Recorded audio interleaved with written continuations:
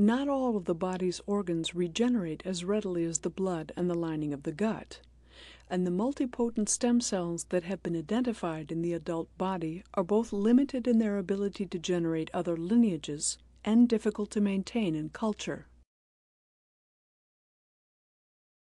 In contrast, the pluripotent cells of the inner cell mass can be harvested and grown indefinitely in vitro, and can give rise to every type of cell in the body.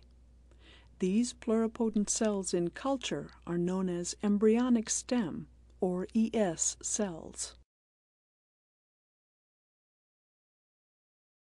By culturing these cells under controlled conditions, it is possible to steer their differentiation into specific cell types.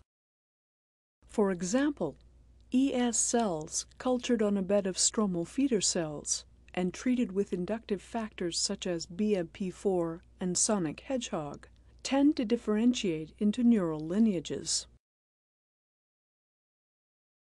By testing various ES cell culture conditions, scientists are gaining new insights into the biology of the differentiation processes that build and sustain and may one day be used to heal our bodies.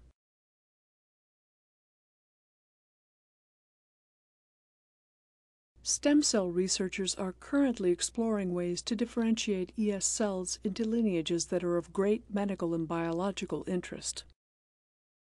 The nervous system, the pancreas, and the heart all regenerate too poorly to restore themselves after serious injury or degenerative disease. Scientists are now seeking ways of using the knowledge they gain every day from the study of embryonic and somatic stem cells to help save patients' lives and to improve our understanding of their seemingly limitless potential.